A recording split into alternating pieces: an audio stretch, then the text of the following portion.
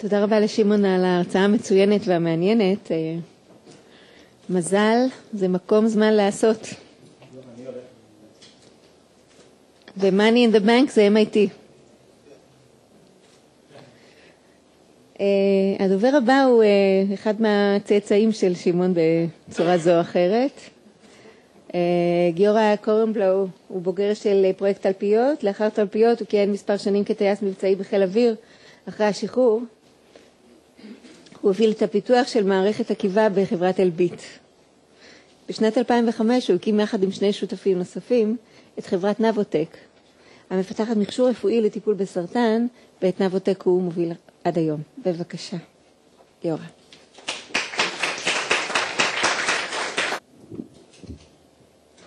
טוב, את אה, עומק הברוך הבנתי כשראיתי את האג'נדה ושאני אחרי שמעון, אז אני מקווה שאני אצליח אה, לעלות על הבמה בצורה מכובדת. אה, יש פה חבר'ה שמכירים אותי ושואלים את עצמם אה, מה פתאום אני עומד פה ומסביר, אז אה, לא יודע אם אלה זוכרת את השיחת טלפון הראשונה שהתקשרת ואלה אמרה לי, שמע, יש כנס MIT מאוד מכובד, אולי תבוא תדבר.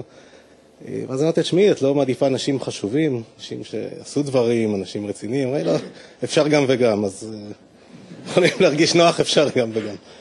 אז זה בסדר. לפני שאני אתחיל, משהו חשוב, המקרה של כל אחד הוא מיוחד, בסדר? אני אספר על אה, דברים שאני למדתי, החוויה האישית שלי ותובנות שצברתי ב-X שנים האחרונות שאני עוסק בתחום הזה. אה, אבל תזכרו, לא לקחת את זה יותר מדי ברצינות, לא יותר מדי ליטרלי, כל מקרה הוא שונה וכל מקרה הוא מיוחד. דיברו קודם גם חזי בהתחלה, גם שמעון אחר כך על אבני הבניין, הן טריוויאליות ואנחנו מכירים, אה, וזה מין checklist כזה, בסדר? אנחנו צריכים שוק, צריכים צורך, צריכים טכנולוגיה, מוצר. פטנטים, רגולציה, אה, מודל ROI, זאת אומרת מודל עסקי שמסביר למה אפשר להרוויח כסף, funding אה, לכל האירוע וצוות. בסדר, פה אין כלום חדש, כולנו מכירים את ה checklist וכולנו עובדים לפיו. ההרצאה שלי אבל תסתובב סביב זה. בסדר, בהתחלה קצת חטיפים על טעויות אופייניות שאנחנו כיזמים עושים אה, בכל אחד מהאלמנטים האלה, ויש טעויות אופייניות שאני רואה אותן, ואחר כך מעט יותר פילוסופי, מעט יותר מעמיק, שלוש תובנות על הנקודות האלה שהן אה, אה, לא טריוויאליות. אז קצת טעויות אופייניות וזה מין חטיפים מהירים לפני שנתחיל. בצד של השוק, וזה מאוד אופייני למוצר רפואי, דיברו קודם גם חזי, גם שמעון, הדרך היא איקס שנים, בין 7 ל-15 שנה מרעיון עד שאנחנו מתחילים למכור מוצר. כשאנחנו באים עם הרעיון ומסתכלים על השוק, אומרים אוקיי, מה, מה יש שם? אז אנחנו מסתכלים באזור השלוש עד חמש שנים אחורה, כי זה הסקרי שוק שיש, שמסתכלים על ה installed base שהוא בין שלוש עד חמש שנים. ובלי להיות מודעים, אנחנו משווים רעיון שיהיה בשוק בעוד עשר שנים לשוק מלפני חמש שנים. ואת ה prediction הזאת אנחנו שוכחים. הרבה פעמים, עד שאנחנו יוצאים לשוק עם אותו טלפון שבמקום מטבעות יש כרטיס, אז כבר כולם עם iPhones. וזה, אה, בתחום הרפואי, הפרק זמן הזה, בגלל הרגולציה, בגלל כל הדברים שחזר דיבר בהרצאה הראשונה, הוא פרק זמן מאוד ארוך, ולעשות פרדיקציה על 15 שנה זה תהליך אה, לא פשוט. אני אדבר בסוף איך, מה עושים עם זה, בסדר, אני מציג טעויות ובעיות, ואחר כך פתרונות שמצאנו איך לצאת מה, מהבעיה הזאת, אבל זאת בעיה מאוד אופיינית. דבר השני, ואני גם עשיתי את זה, וכולנו עושים, ואני שומע את זה מהרבה סטארט-אפיסטים, באים בהתלהבות, ההיא, פגשתי את הרופא, הוא ראש מחלקה, והוא חייב מוצר כזה, הוא אמר שהוא מאוד מתלהב ומאוד שמח. עכשיו, זה נכון, הרופא תמיד אומר את זה, ומאוד קשה לא להעליב אותם. הוא משועמם, הוא... יש פה רופאים בקהל, אני מקווה שלא, כי ישנאו אותי אחרי זה, אבל הוא, באמת, הוא מהבוקר בודק פרוסטטות, וזה מה שהוא עושה. ועכשיו בא בחור צעיר עם רעיון מלהיב, הרופא בכלל רוצה לפרסם, והוא רוצה לעשות משהו מעניין, הוא לא רוצה להמשיך לבדוק פרוסטטות, וזה מה שהוא עושה כל היום. ולכן הוא התלהב כמעט מכל דבר, ומאוד קל להוציא התלהבות. הוא גם בדרך כלל לא מודע לשיקולים כלכליים, והוא לא מודע לפעמים אני קיבלתי כאלה פידבקים, שהוא אומר, כן, אני חייב כזה מוצר, ואחרי שבדקתי, יש כזה, הוא פשוט לא קיבל כסף לקנות, אז הוא חייב. אבל הוא סיפר שהוא חייב. עכשיו, יש כאלה מקרים וצריך לא להתפתות לסיפור, וזו טעות מאוד אופיינית. טכנולוגיה, אנחנו בעיקר באים מצד הטכנולוגיה ואנחנו מתאהבים בזה. משקיעים המון זמן, המון אנרגיה בפיצ'רים, גימיקים, ובסוף שוכחים את הדברים החשובים, שזה השוק והכסף ודברים כאלה. אה, פטנטים הייתה הרצאה לדעתי נפלאה של אה, זאב, ציורית, דברים דומים, אנחנו, יש לנו רעיון, יש לנו משהו שאנחנו מנסים לגדל, אנחנו רוצים להגן עליו עם חומה יפה מכל הכיוונים ורוצים חומה כפולה, זה מה שאנחנו רוצים, זה מה שאנחנו מאמינים. הרבה פעמים אנחנו משאירים חלק בחוץ, והחלק שאנחנו שוכחים הוא לא המצאה שלנו. לפעמים המצאנו משהו, אבל מה שבעל ערך זה לא מה שהמצאנו, זה השימוש בדבר הזה. ואני אתן דוגמה קלאסית. אנחנו בנבוטק פיתחנו מערכת או טכנולוגיה לעקיבה אחרי גידולים, למצוא את המיקום כדי להקרין אותם בצורה מדויקת. הגענו על זה, אה, אבל הגענו גם על שימושים, וזה מאוד חשוב, כי הגנה יותר חזקה היא להגיד, אני בונה מערכת שעוצרת קרינה אם הגידול זז יותר מ-X מילימטר. זאת הגנה שבכלל לא מגנה על ההמצאה שלי, היא מגנה על שימוש, אבל זה מה שיחסום מתחרה, לא יחסום אותו המצאה שלי, כי הוא יפתח טכניקה אחרת ויעקוף. אז הרבה פעמים אנחנו משאירים בחוץ את הדברים החשובים באמת, וזה מה שבעל ערך ללקוח. אז זה לקח מאוד חשוב בנושא פטנטים. הרבה פעמים אנחנו משאירים פרצות, זאב ציין כמה דוגמאות והן קורות, שאנחנו לא מטפלים נכון בבירוקרטיה, לא מטפלים נכון ב claims רחבים מדי וקל להפיל אותם בבית משפט, claims צרים מדי, שקל לעקוף אותם, לפעמים ההגנה היא מאוד מאוד קטנה, בסדר, ויש כאלה מקרים גם. במקרים המשעשעים ועצובים כשהם קורים, וזה קורה, שהמצאנו משהו, הגשנו פטנט, עם השנים הטכנולוגיה התפתחה, הזזנו אותה הצידה, עשינו משהו ליד, והפטנט נשאר על משהו אחר, ויש פטנט וטכנולוגיה, והם לגמרי לא חופפים, וזה קורה במספר מפתיע אה, של מקרים. אז פטנט זה משהו שצריך לתחזק וכל הזמן לחזור אליו. רגולציה, אז יש פה דוגמה ציורית קצת, התפיסה היא הרבה פעמים בואו נתכנן מוצר ונלך נאשר אותו מול ה-FDA ואז אנחנו נשארים מוצר נהדר שעובד, יש פה דוגמה כזאת, הוא יעיל מאוד, זול ונחמד, אבל אין סיכוי שה-FDA יאשר אותו. הגישה הנכונה לניסיוני היא לתכנן את המוצר שאפשר לאשר. בסדר? זה נשמע קצת מוזר, אבל להסתכל קודם כל מה ה-FDA יאשר לנו, ואת זה לתכנן. ולפעמים זה לא מה שהמצאנו ולפעמים זה משהו אחר, אבל אחרת אנחנו ניתקע אחר כך בתהליך רגולטורי של עשר שנים, וככה זה ייקח אם אנחנו נבוא עם חומר לא נכון או עם, עם משהו שה-FDA לא מכיר. אז זו עוד טעות אופיינית שאנחנו עושים. סרט שמעט ממחיש את זה.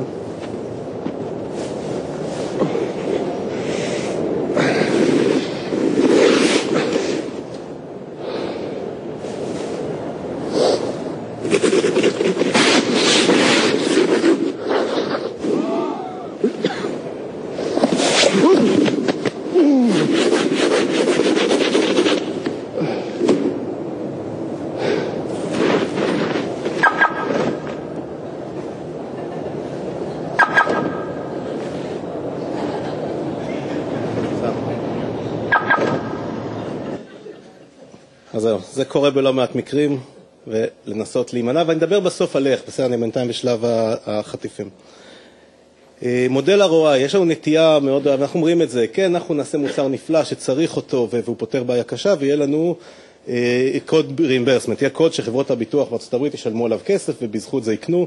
תהליך מאוד קשה, מאוד ארוך, בדרך אין אותו, וגם פה ההמלצה החמה שלי היא לעשות הפוך, להבין מה משלמים ולתכנן את המוצר ככה שעונה לאחד הקודים הקיימים, זה חוסך חמש שנים בתהליך, אה, ואפשר לעשות את זה. אני אדבר בסוף על דוגמאות. נושא הצוות, הזכירו קודם החשיבות של להביא מוקדם אנשי, דווקא לא הטכנולוגיה, אלא הרגולציה, marketing, operations, לפעמים זה יועצים. דעתי העקרונית היא שעם יועצים זה לא עובד אף פעם. תמיד נכשלתי עם יועצים, למעט עורכי דין שלנו. יושבים פה, אבל זה נכון. אה, לא, זה באמת נכון. בדרך כלל היועצים, זה, זה נכשלנו, קשה מאוד לסמוך על זה. יועץ יודע את הספר, הוא לא יודע מה קורה בתוך החברה, וזה קצת כמו לקחת ספר, לשים על השולחן ולצפות שהדברים יקרו. זה לא עובד, צריך להיכנס לזה לבד וצריך אינסיידר שייכנסו לכל תחום. אה, אבל עדיין, הנושאים האלה חשוב לא להזניח בשלב מוקדם. והחטיף האחרון הוא בנושא מימון, וזה לקח שקשה ליישם, אבל אנחנו מכירים את זה, יש אנשים פסימיים, אנשים אופטימיים. אה, משקיעים בדרך כלל אופטימיים, אה, אבל יש גם פסימיים. מה, מה עדיף? מישהו... יש איזושהי העדפה? לא יודע, אני אגיד לכם את התובנה שלי בתחום, שעדיף בהרבה, אם אפשר, להביא משקיעים פסימיים, בעיקר כי הם לא מצפים לקבל את הכסף חזרה, וזה דבר מאוד, זה מאוד מהותי אה, בנושא ניהול החברה. זהו, זה היה החטיפים, ובניתי איזושהי תשתית ידע לחלק השני שהוא מעט יותר עמוק, מקווה שנצליח לעבור אותו בשלום. הנקודה הראשונה, שוב, בהתחלה אני קצת דברים טריוויאליים שכולנו יודעים, בסדר? תמיד אנחנו שואלים, אוקיי, מה חשוב? יש אותם אלמנטים, שוק, צוות, צורך, טכנולוגיה, פטנטים, אה, ומה חשוב, במה להשקיע את רוב האנרגיה, והתשובה הטריוויאלית מהספר היא בסוף הדבר, החוליה החלשה. בסדר, לא כולם מכירים, אבל תכירו, בסוף החוליה החלשה, זה יפיל לנו את הסטארט-אפ. ולא משנה אם יש טכנולוגיה נפלאה ויש שוק נפלא, אם אין לזה רגולציה ולא נקבל FDA, זה לא יעזור. וכנ"ל כל אחד מהאלמנטים האלה, אם הוא לא קיים, או הוא החוליה החלשה, הוא יפיל. לא גאונות גדולה, אבל, אבל זה חשוב רגע להמשך, כי זה אני בונה על הנקודה הזאת. הדבר השני זה היחס בין הדברים. ופה אני חושב מעט שונה מדברים שהוצגו אה, קודם, יש איזושהי נטייה לבנות איזשהו waterfall, להגיד יש אה, שוק, אני מזהה צורך בשוק, עונה על הצורך בטכנולוגיה, מגן על זה בפטנטים, אה, בונה תוכנית רגולטורית, יש לי מודל return on investment לסיפור הזה, ויש צוות ו funding שתומך, וזה תהליך מובנה. אני טוען, וזה מלא מעט מקרים שהסתכלתי עליהם גם אצלנו וגם בחברות אחרות, שזה יותר דומה לעכביש מאשר לווטרפול. וכל אחד מהאלמנטים משפיע על כל אחד האחרים ומושפע מכל אחד מהאחרים. אה, זו נקודה שא' תצטרכו להאמין לי, וכל אחד אפשר אחר כך להתקיל אותי ולבדוק. אני אתן שתיים, שלוש דוגמאות רק כדי להמחיש את הנקודה. בואו ניקח דוגמה אחת, איך return on investment משפיע על האחרים. return on investment זה אומר למה שיהיה ללקוח כדאי כלכלית לקנות את המוצר שלי, איך הוא יחזיר את ההשקעה. בסדר, זה, זה המינוח במקרה הזה. ונניח לצורך העניין שכדי לענות לקוד reimbursement קיים, כדי שהוא יקבל כסף על השימוש במכשיר, אני צריך להוסיף feature. בסדר, אני אה, בניתי מכשיר למדידת זרימת דם, מה ששמעון נתן, אבל נניח שאין לזה reimbursement, אבל כן יש reimbursement על ויסות מינון תרופה כתגובה לשינוי בזרימת הדם. לזה יש קוד. וזה רופא שעושה את הדבר הזה, מקבל 150 דולר על כל פעם שהוא עושה את הדבר הזה, ואז כדאי לו לקנות את המכשיר. זה אומר שאני צריך להגדיר צורך למכשיר שלי שיש לו את הפיצ'ר הזה, כי אחרת לא יהיה כסף. זה מגדיר שהמוצר הוא שונה, הטכנולוגיה השתנתה, ובעקבות הטכנולוגיה אני צריך להגן על זה, אחרת כל העולם יעשה ויגנבו לי את זה, והרגולציה השתנתה. עכשיו אני צריך למצוא מול ה-FDA Predicate Device, המוצר שהוא uh, התקדים למוצר שלי, שמכיל את הפיצ'ר הזה. זה אומר שאני צריך לעשות ניסוי קליני שמוכיח את הפיצ'ר הזה. זה משנה לחלוטין את כל התוכנית. זה דורש סכום כסף אחר לגמרי, וזה בסוף גם משנה באופן מהותי את השוק שאני ניגש אליו ואת הקצב חדירה. אז פה יש דוגמה איך אה, מודל return investment של לקוח משנה לי את כל התוכנית העסקית, ואם אני מגלה את זה אחרי שנתיים פיתוח של מוצר, זה מאוד, מאוד עצוב, כי אנחנו הולכים אחורה וזורקים את כל העבודה לפח.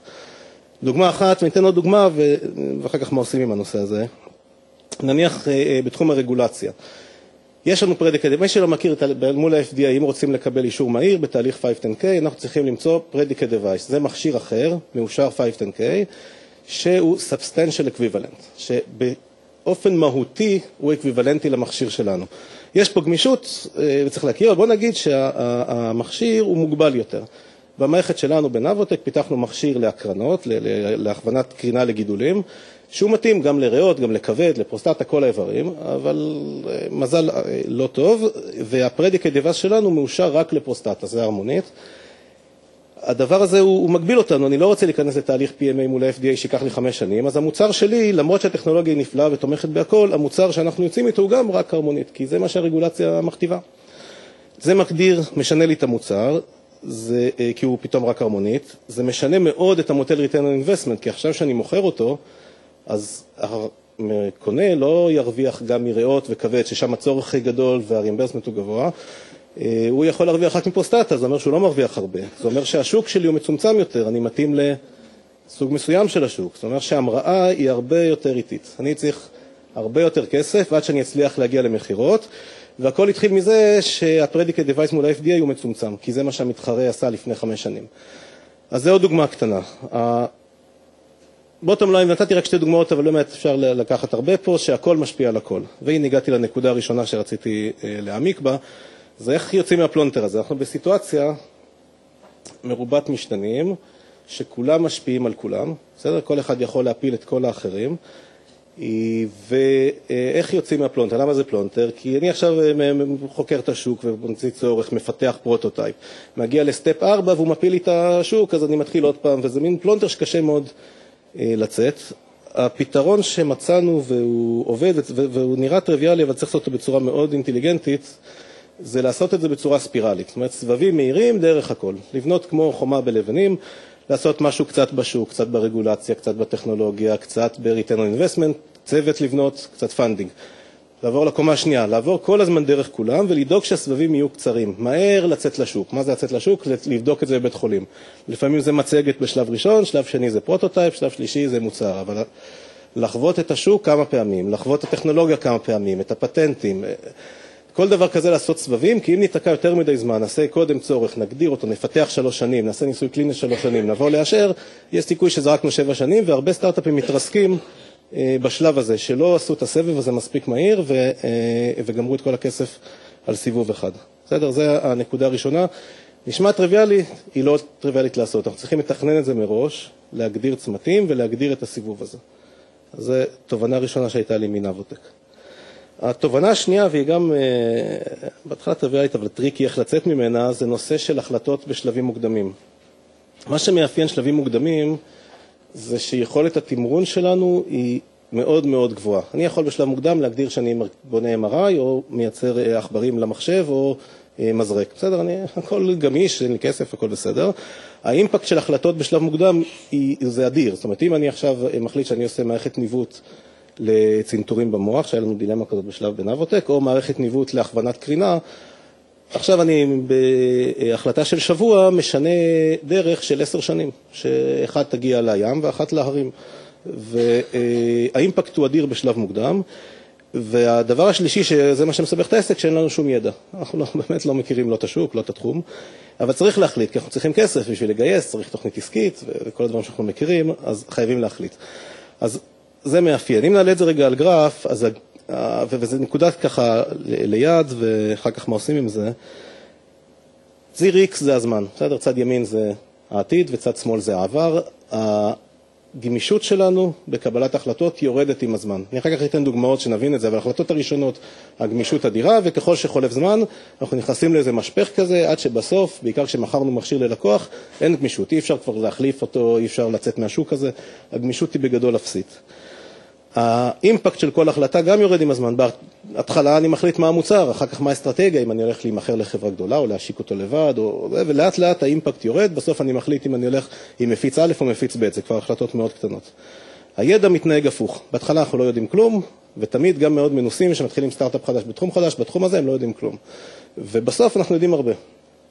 החיים האמיתיים הם מעט יותר מסובכים. אני אתן פה כמה דוגמאות. זה מתנהג בצורה מאוד uh, של מדרגות, לא רציפה. ואני אתן פה כמה דוגמאות ואז איך יוצאים מהם. אחד, הגמישות נשמרת עד שלוקחים כסף ממישהו. ברגע שגייסנו כסף, אה, אי אפשר לעשות, אי אפשר לשנות, אי אפשר להחזיר אותו ואני מחליף כיוון, כי הוא השקיע באפליקציה א', במוצר א', עם תוכנית עסקית א', גם אם היא מאוד אופטימית ולא האמנו בה עד הסוף, אני אדבר בסוף, יש לי פרק, תובנה שלישית היא ניהול האופטימיות, אה, אי אפשר כבר ללכת מזה הרבה אחורה. זה מה שהתחייבנו, בסדר? הגמישות צונחת.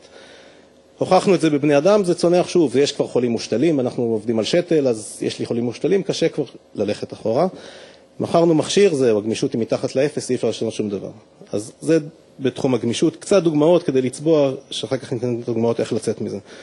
נושא האימפקט, בחרתי את המכשיר, האימפקט יורד. החלטתי על אסטרטגיה, יורד עוד יותר. בסדר, דברים טריוויאליים. הנקודה הזאת אבל היא מאוד מהותית. הידע האמיתי מגיע רק כשפוגשים את השוק, כשבאים למכור לו. בסדר? זה אני יכול להגיד לכם גם עם כל הסקרי שוק. ופגישות עם לקוחות ופגישות עם רופאים וניסויים קליניים וכן הלאה, עד שלא באים באמת למכור, אנחנו לא יודעים מה יש לנו ביד, וזה קורה מאוחר מדי. הבעיה היא כבר טריוויאלית, אבל אני אגיד אותה בכל זאת, בצד שמאל זה מצב מאוד מסוכן, יש לנו המון גמישות, אימפקט אדיר לכל החלטה, אבל אין לנו שום ידע.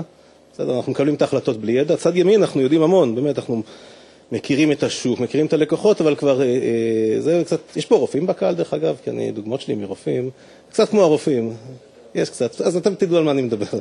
שיש את, ה, את הנורולוג, שהוא באמת, זה הרפואה עם הידע מאוד גדול, והם יודעים הרבה מאוד, אבל לא, לא עושים כלום. בסדר, הנורולוגים הם בסוף רואים את החולה, שולחים אותו לנוח. יש את הכירורג שהוא קצת בקצה השני, הוא, הוא עושה המון, הוא כל הזמן מנתח, אבל הם, הם לא יודעים הרבה, הכירורגים. יש את, ה, את הפסיכולוג שהוא גם לא יודע וגם לא עושה את זה בסדר, ויש את, ה, יש את הפתולוג שהוא יודע המון, בסדר, הפתולוגים יודעים, הם עושים המון, אבל זה מאוחר מדי. אין, אז צד ימין של הגרף זה קצת זה, אתה כבר יודע המון, אבל זה מאוחר מדי כי קשה ליישם.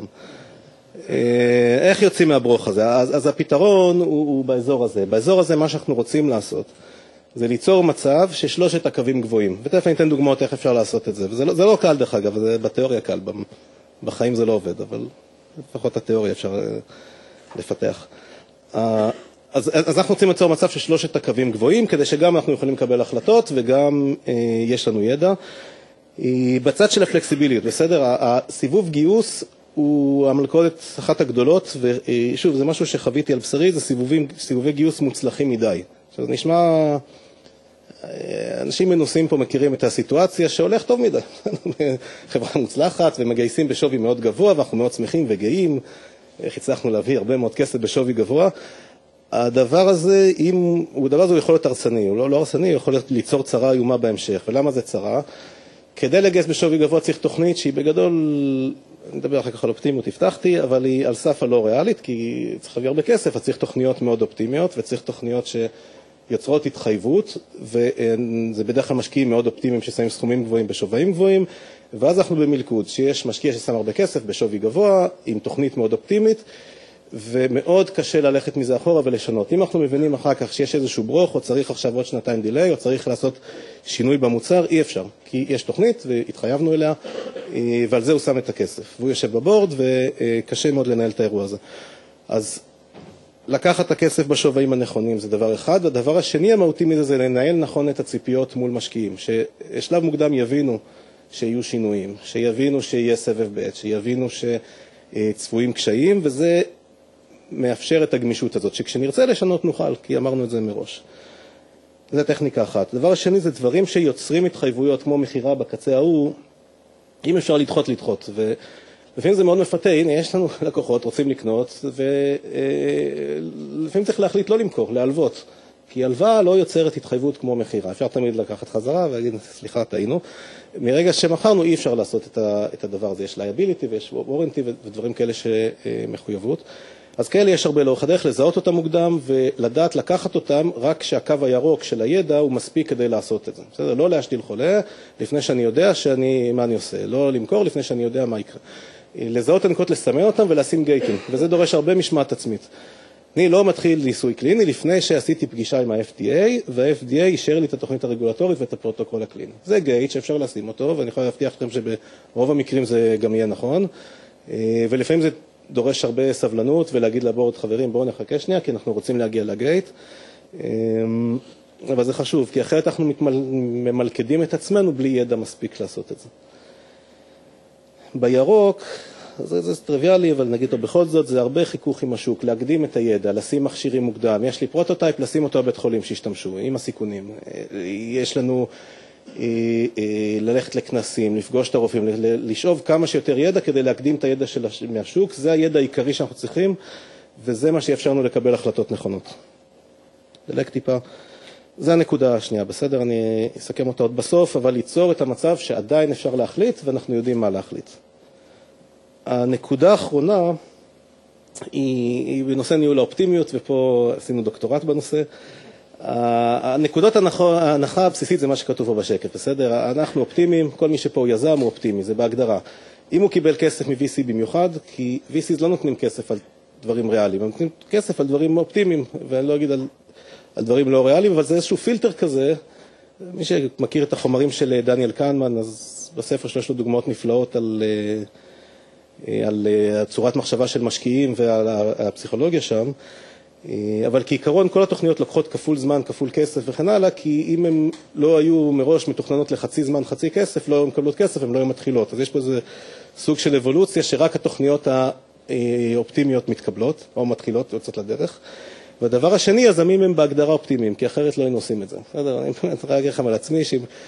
יצא לי כבר מספיק פעמים שאם לא הייתי בן אדם על סף הלא ריאלי או חצי אה, דפוק, לא הייתי ממשיך עם האירוע הזה, כי זה דורש לקום כל פעם בבוקר, כל העולם יהיה חרב, ועכשיו לחייך ולהמשיך הלאה, אה, וזה קורה כל הזמן, אה, כל יום. אז, אז, אז כל מי שפה יזם הוא אופטימי, והבולט השלישי, שעדיין לא הנקודה המהותית פה, שזה בסדר, זה, צריך את זה, זה הדרך שלנו לגייס כסף, לגייס אנשים, לקום בבוקר, לקבל אנרגיה, זה להיות אופטימיים, בסדר? עכשיו, יש מעבר רציף, ועליו אני אדבר טיפה, בין אופטימיות לטיפשות.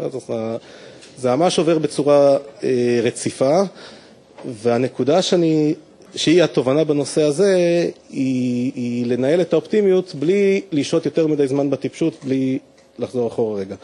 והטכניקה היא לעשות את זה היא בצורה פריודית, פעם ב... לא יותר מדי, כי זה באמת מעייף וזה גם יכול לקלקל את המצב רוח, זה להתמודד עם המציאות, לא בצורה אופטימית. זאת אומרת, פעם ב... ובמיוחד לפני שלוקחים כסף זה מאוד חשוב, לבחון את הדבר באופן מהותי. צריך להבין, לגייס כסף, באמת, זה לא מאוד קשה, זה נראה קשה, זה קל, הבעיה היא אחר כך שאם גייסנו את זה ואנחנו צריכים לעשות את מה שאמרנו, וזה יותר קשה. אז לפני שעושים את זה, לבחון את הדברים בצורה אה, מאוד ריאלית. אה, הדבר השני זה נקודות ביקורת, ואפשר להגדיר אותה מראש לפני שמשתילים חולה אם זה שתל, לפני שמוכרים מכשיר אם זה משהו שמוכרים אותו, לפני סיבוב גיוס הבא, לפני... לשים נקודות ביקורת, לא הרבה מדי, פעם בשנה, פעם בשנתיים, שבהם אנחנו רגע מוצאים את הסוסיות, מסתכלים מסביב ומתמודדים עם השאלות הקשות. ומאוד קל ללכת לרופא ולהוציא אותו מתלהב, אה, אפשר לעשות את זה על כל מוצר בכל שלב, ולפעמים צריך ללכת לרופא ולהגיד לו, תשמע, אבל אני רוצה להדגיש את הבעיות, זה הבעיה, 1, 2, 3, זה גם לא ידע את הדבר ההוא, ולקבל את הפידבק היותר אה, אמיתי, וצריך לעשות את זה בנקודות מבוקרות, לא יותר מדי, אמרתי, כי זה אחרת באמת לא נוכל ככה לנהל חברה, אבל, אבל, אבל פעם ב, לקראת התחייבויות, לקראת נקודות גדולות, לעשות את ההתבוננות למציאות בעיניים, ולא לפחד לקבל החלטות. ולפעמים החלטות הן מאוד כואבות, כי אנחנו ארבע שנים הולכים באיזשהו כיוון שאנחנו האמנו בו והמשקיעים האמינו בו, ועכשיו אנחנו צריכים לפנות 90 מעלות, וזה מאוד מאוד כואב, אז לא לפחד מזה. זהו, זו הנקודה השלישית. העצה האחרונה, לפני שאני אסכם, שמעון לא פה, אבל אה, אספר לו על העצה הזאת. אה, זה, זה נכון לכל, לכל יזם בכל תחום, שאם יש לכם משקיע שהוא גם הצ'רמן שמנדב אתכם להרצאה, אז תלכו, אל תגידו לו ש... אתם לא יכולים, כי אחרת זה יכול לפגוע בסיבוב הבא. אבל... אה, אז לסיכום, השלוש נקודות העיקריות זה הסבבים המהירים, לחוות את כל שמונת אבני בניין שכולנו מכירים, אבל לדאוג לעבור דרכם מהר. לא לשהות יותר מדי זמן בנקודה אחת, כי סיכוי סביר שנצטרך לבוא ולהפוך אותה שוב. הצד השני זה לייצר נקודות בזמן שבהן יש גם ידע וגם יכולת להשפיע. לקבל את כל ההחלטות כשאין ידע ואחר כך להיתקע איתן כשאי אפשר להשפיע זה אה, דבר לא נכון לעשות והרבה סטארט-אפים עושים את הדבר הזה. אה, ואופטימיות, אנחנו אופטימיים ועדיין פעם בהרבה זמן להקפיד להסתכל על המציאות כי זה מציל אותנו מצרות. תודה רבה.